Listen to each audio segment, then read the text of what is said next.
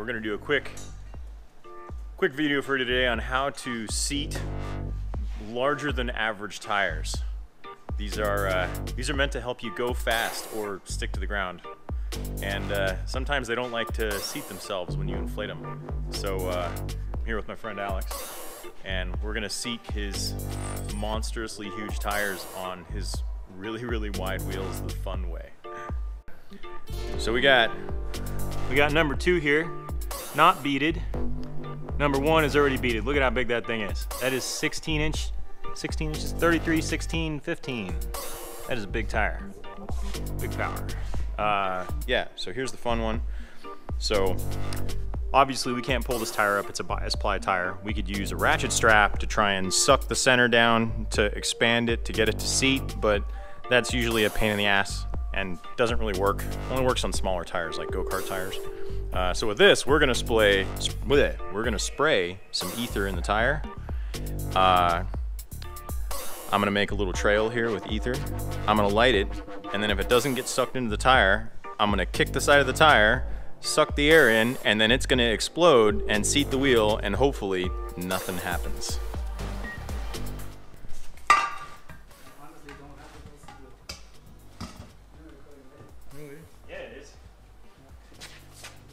Got it up. We got it up kind of as high as it's gonna go.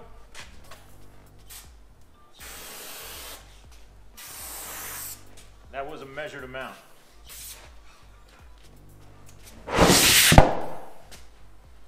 I mean, that was gentle. It didn't pop all the way, but we can use air pressure to seat the rest. Now see-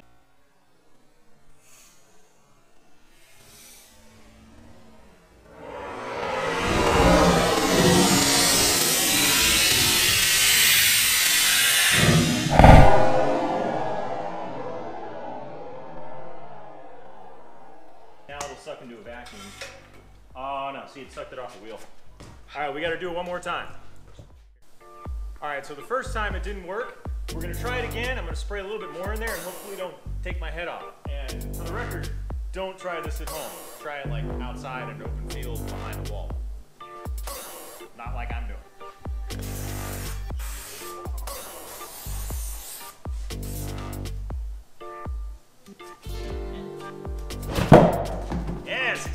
That one worked good.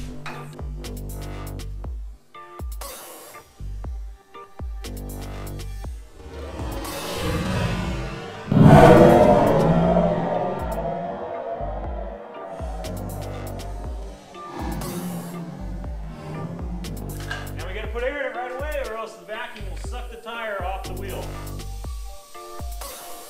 I don't think that's gonna happen, so yay! That's how you mount a tire some uh, ether.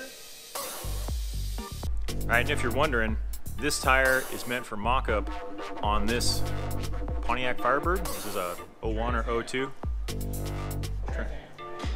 It's a Firebird. It's a Firebird. And this is uh, going through the transition of becoming a pro mod. Might even get a pro line motor. yeah, all right, maybe not. But still, it's a nice car. Here's some clips of it.